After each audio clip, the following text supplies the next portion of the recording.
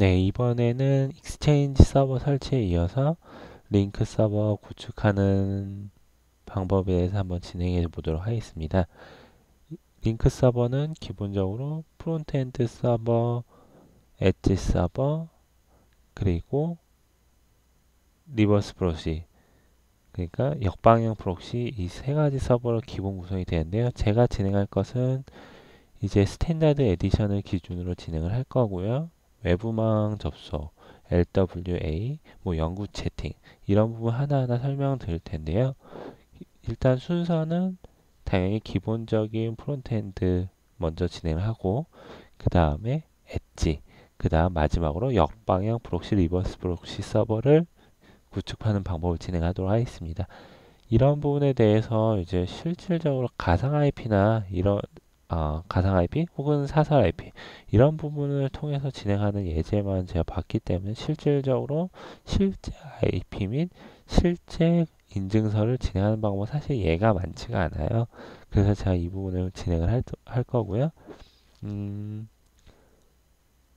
먼저 사전에 지, 작업을 진행해 줘야 될 것은 도메인 컨트롤러에 조인을 해, 먼저 해 주셔야 되고요. 그 IP 설정이나 이런 부분은 생략하도록 하겠습니다. 보시면은 이제 도메인 컨트롤러 이미 구축된 상태고요. 그 사전에 설치 파일은 다 다운로드 받아 놓은 상태입니다. Lync 설치 파일은 테크넷에 가보시면 쉽게 받을 수 있을 겁니다. 그럼 먼저 필요한 기능을 설치할 텐데요. 설치 작업을 진행해 줍니다. 해당 내용이나 이런 순서들은 블로그에 게시해 놓을 테니까 읽고 참조해 보시면 됩니다.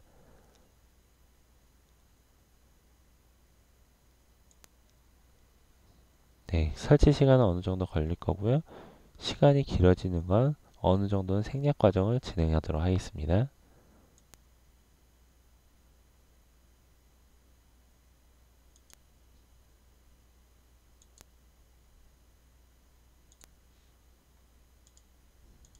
네, 설치가 완료되었으면 다시 시작을 진행합니다.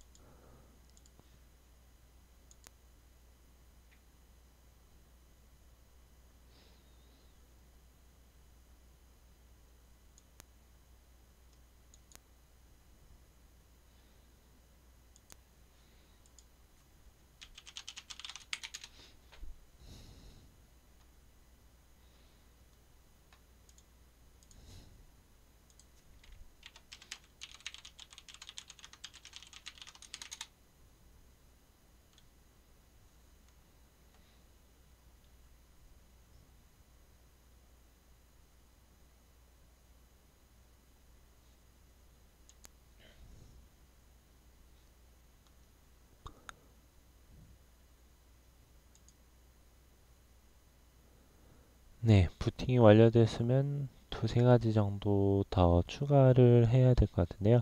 .NET Framework 관련된 부분과 Windows Identity Foundation 관련해서 이제 추가를 해야 되는데요. 네, 대시보드에서 역할 및 기능 추가해서 기능에서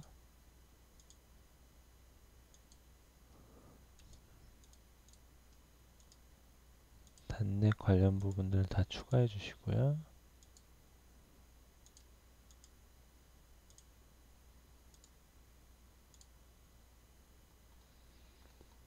그리고 Windows Identity Foundation 3.5를 추가한 다음 설치를 진행합니다.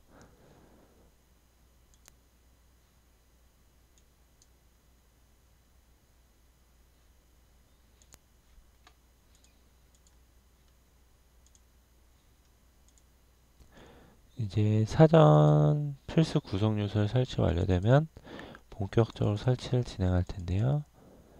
설치 셋업 폴더에서 셋업을 실행해 주시고요. 비주얼 C++ 설치 진행해 주시고요.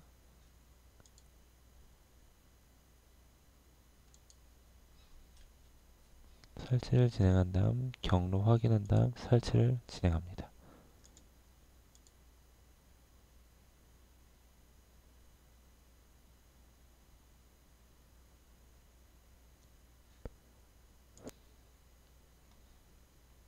네.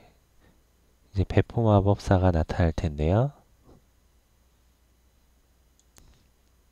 일단 Active Directory 준비를 클릭하신 다음 스키마 준비해서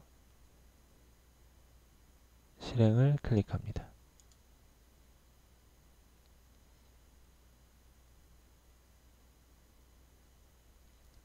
각각의 단계가 어느 정도 시간은 소요가 될 수 있습니다. 완료되었으면 마침을 클릭해 주시고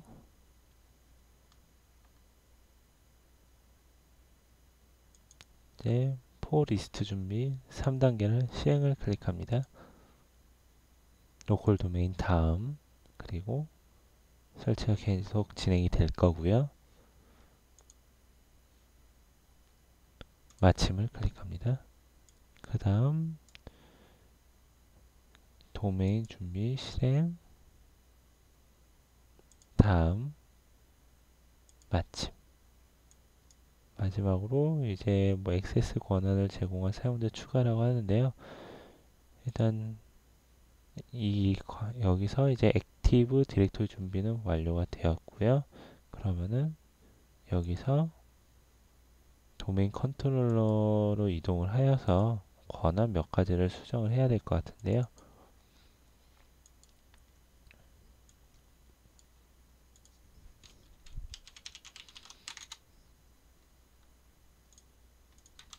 도메인 컨트롤에 들어가셔서 사용자를 검색하면은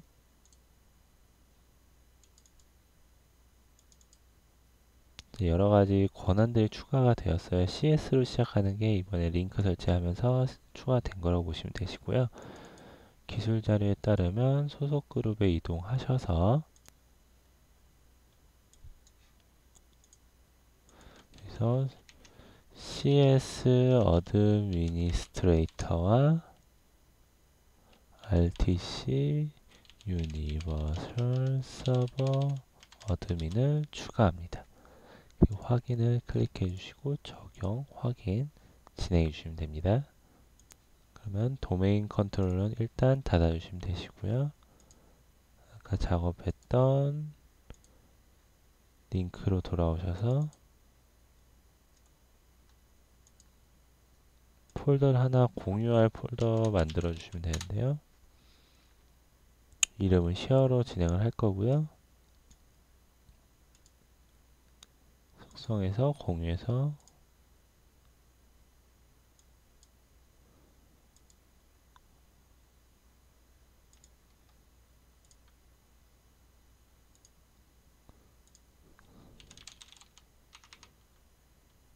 에브리원을 추가하시고요.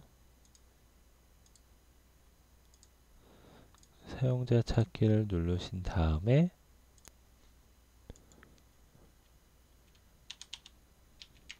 필요한 각각의 권한을 추가합니다.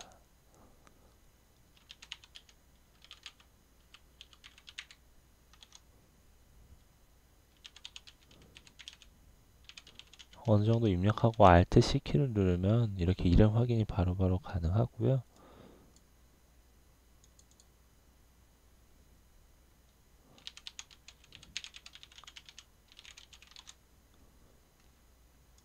확인 그리고 다들 읽기 쓰기 권한을 다 부여를 진행을 합니다.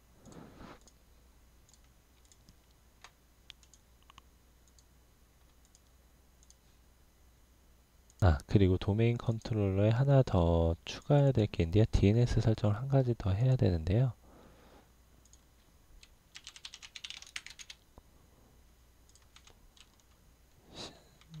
시작 화면에서 DNS를 검색을 하면은 DNS 설정이 가능하고요. 여기서 마우스 오른쪽 버튼 누르시고 다른 새 레코드를 눌러주셔서 서비스 위치 그래서 서비스에는 언더바 sip inter internal TLS 프로토콜은 언더바 TCP 포트 번호는 506 하나 제공한 호스트는 이건 Lync Front End 서버를 가리키면 됩니다. 완료하면 추가된 걸 확인할 수가 있고요.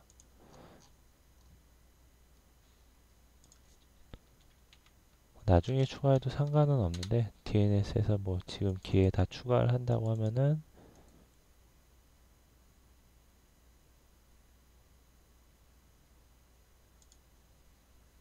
새 호스트 하셔서 join.limcm.kr을 추가할 텐데요. IP는 이것도 역시 Lync Front End 서버를 가리키면 됩니다. 혹시나 이거 연결된 PTR 레코드 만들기라고 써있는데요. 이건 역방향 proxy라고 해서 추가가 되는 건데 이거 만들 수 없다 나타나니까 안 하셔도 되시고요.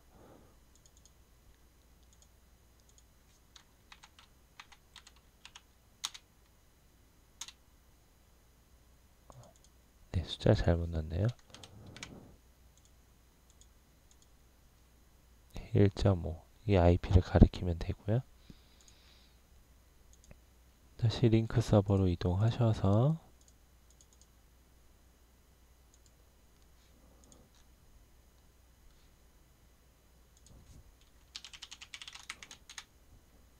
다음 설치 과정을 진행할 텐데요. 일단 관리 도구 설치를 클릭하시고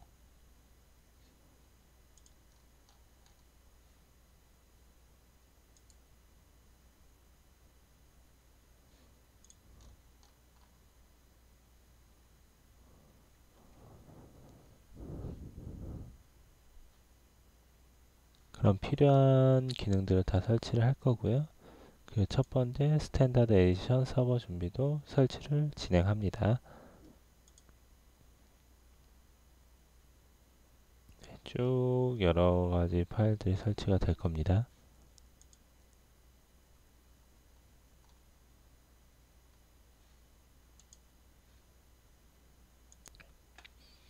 네, 완료되었고요. 마침을 클릭해 주시고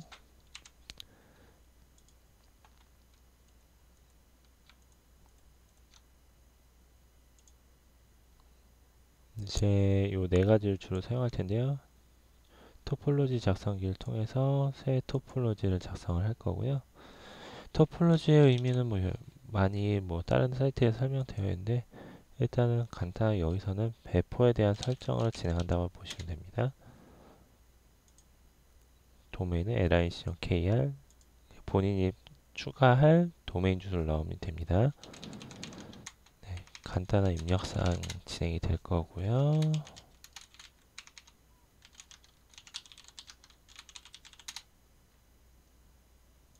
마침을 클릭하면 이제 정의하는 창이 나올 텐데요. 이제 Standard Edition 서버를 진행할 거고요. FQDN 이름은 당연히 지금 Lync 서버의 이름을 가리켜야 되고요. 기본적으로 해볼 수 있는 게 회의, Enterprise 통화 지역 이렇게 한번 진행해 보도록 하겠습니다. 중재 서버 그냥 체크된 채로 진행해도 되고 Edge pool 체크는 나중에 진행하도록 하겠습니다. 그래서 이렇게 진행할 텐데 아까 파일 공유 설정한 폴더가 지정이 될 거고요. 음, 오피스 웹도 일단 체크는 해제해 둡니다. 그리고 설정이 기본 완료됐으면 속성 편집을 들어가셔서 URL 변경할 텐데요. 이제 이렇게 앞에 붙는 서버 도메인 이렇게 쓰시면 인증서 나중에 설정하실 때 하나당 돈이기 때문에 다 이거를 통일하는 게 좋습니다. 이것도 기술 자료 몇 가지 유형들이 나와 있는데요. 아, 이게 아니라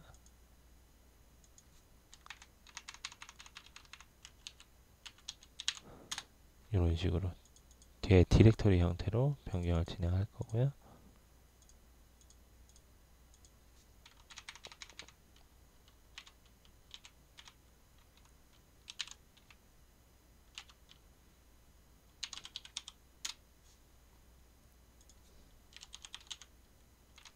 관리 액세스도 한번 추가해 줍니다.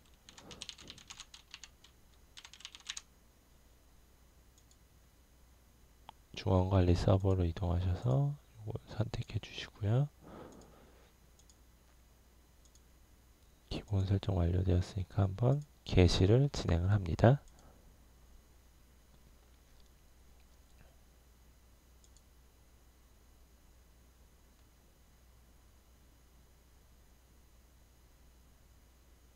네, 쭉 배포하는 과정이 진행이 될 거고요.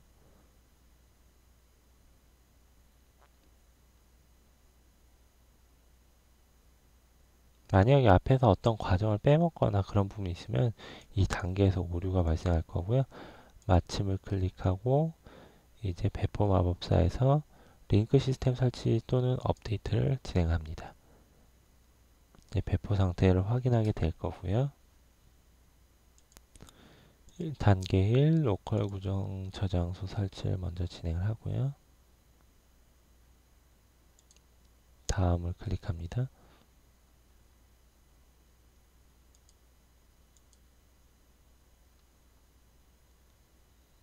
설치가 진행될 거고요.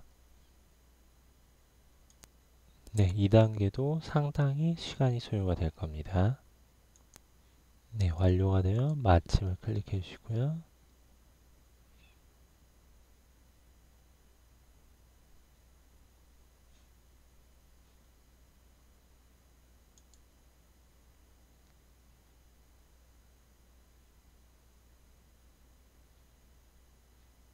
2단계에서 또 실행을 진행하시고 배포 상태대로 이제 정의된 부분에 따라서 다시 설치가 진행이 될 겁니다.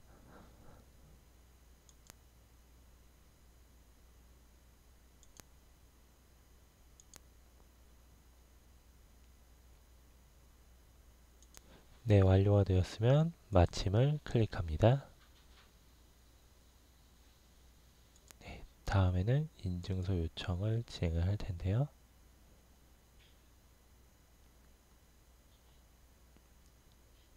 기본 인증서에서 요청을 진행해 주시고 다음을 클릭하신 다음 인증서 이름을 설정합니다.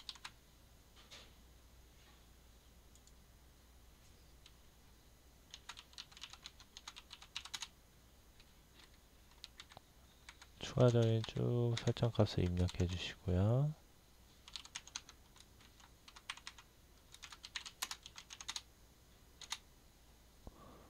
십 도메인을 체크해 주시고 다음을 클릭해 주신 다음 계속 다음을 진행을 합니다. 그러면 마침을 진행하고요. 그럼 창이 하나 나타날 텐데요. 계속 다음을 클릭해 주시고 마침을 진행합니다. 이 토큰이라는 부분은 저도 아직 정확하게 이해는 못했는데 일단 요청을 진행해 주시고요. 다음을 진행해 주시고 이름은 구분을 해 주시는 게 좋을 것 같아요.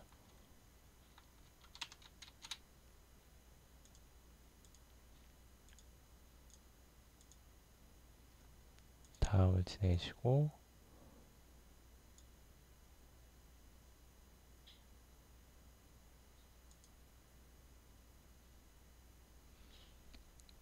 마침을 진행합니다. 참고로 이렇게 다음 다음 진행하는 거는 기본적으로 도메인 컨트롤에 인증서 서비스가 설치되어 있다는 전제하에 진행을 해야 되고요. 혹시나 이 부분 모르시면 나중에 이거는 포스팅 하거나 아니면은 동영상으로 올려드리도록 하겠습니다. 그 또한 나중에 이제 엣지 서버라든지 어떤 역방향 proxy 서버 인증서라든지 그럴 때 다시 한번 여기서 설정을 해 주셔야 될 수가 있는데요. 그것도 나중에 다시 한번 진행할 때고요. 이건 그냥 기본적인 Standard Edition만 진행을 하도록 하겠습니다. 뭐 이 부분은 다른 동영상이나 블로그라든지 포스팅된 글과 큰 차이가 없을 거예요. 그렇기 때문에 이대로 일단 쭉 진행을 해 주시고요. 네, 서비스 상태 확인했고요. 이제 올바르게 동작이 되는지 확인할 텐데요. 정상적으로 다 실행되는 걸 확인할 수가 있고요. 그리고 여기서 반드시 업데이트 확인을 진행을 하셔야 되고 그래서 업데이트가 나오는 게 있, 으면 설치해 주셔야 되고 그리고 Microsoft에서 또한 누적 업데이트나 이런 부분을 수동적으로 설치를 해야 될 수가 있어요. 일단 먼저 업데이트 확인을 진행을 합니다.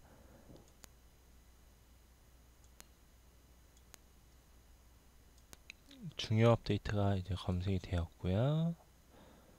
그래서 모두 선택하셔서 이제 Lync 관련 업데이트가 쭉 Lync뿐만 아니라 이제 Windows도 있고요. 이제 설치를 진행을 해주시면 됩니다.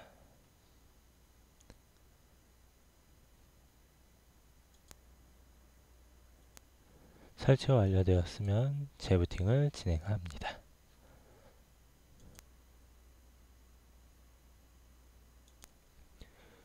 네, 이제 재부팅이 완료되었으면은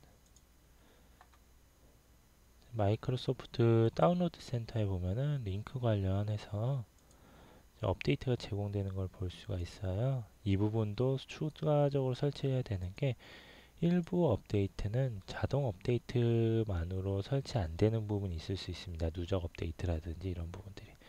그래서 이, 부분들, 이 부분들이 Lync 서버 업데이트 installer를 통해서 제공되는 경우가 있으니까요. 꼼꼼하게 이 부분까지 확인을 해서 설치를 진행해 주셔야 됩니다. 실행을 해주시면은 install update 뭐가 안 됐는지 이렇게 나타나는 게 있어요. 그래서 여기서 install update를 눌러주시고 설치를 진행해 주시면 됩니다. 그러면 이제 뭐 바탕화면에 이거 저거 많이 깔린 게 보이는데 나중엔 다 지워주시면 되시고요.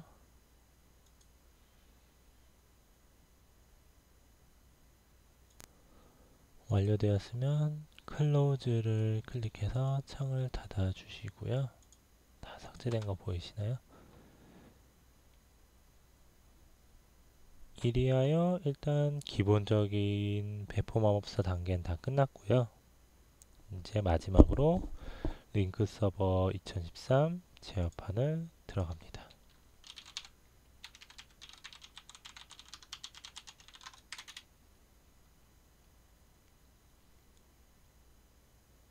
실버라이트가 설치되어야 이 화면을 볼 수 있기 때문에 실버라이트 설치하라는 메뉴고요.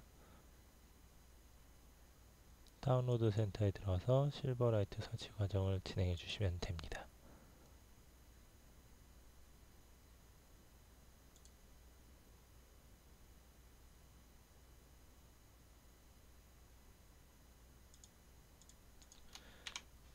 F 버튼을 눌러주시고요.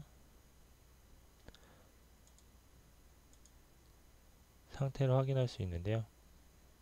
체크된 걸로 봐서는 이제 정상적으로 확인이 되었고요. 그래서 이제 사용자를 추가하려면 사용자 사용을 클릭하셔서 유저를 검색을 해야 되는데 만약에 Exchange 서버가 설치, 설치되어 있는 형태라면 전자메일 주소 사용을 하셔도 되시고 이건 어떠한 형식으로 하셔도 상관없는데 보통 이걸로 진행을 한다고 보시면 됩니다. 그래서 할당을 눌러주셔서 원래 어떤 유저가 있다고 하면 그 유저를 추가하시면 되는데 예를 들어 Administrator를 검색을 하면은 나오긴 하는데 이걸 추가하면 오류가 생길 수 있어요. 권한이나 이런 부분 때문에 그래서 도메인 컨트롤에서 사용자 추가나 이렇게 하셔서 하나씩 추가하시거나 아니면 먼저 Exchange 서버에서 사용자를 추가하셔서 진행을 해주시면 됩니다. 이렇게 하시면은 기본적인 Frontend 서버 구축 과정은 이걸로 완료가 됩니다. 뭐 여기서 더 추가적으로 설정할 부분 따로 없고요. 다만 이제 어떤 엣지 서버라든지 추가적인 구성이 필요할 때 여기서 변경이 필요한데요. 그 부분은 다음에 다루도록 하겠습니다. 이로써 Lync 서버, Frontend 서버 설치 부분을 마치도록 하겠습니다. 감사합니다.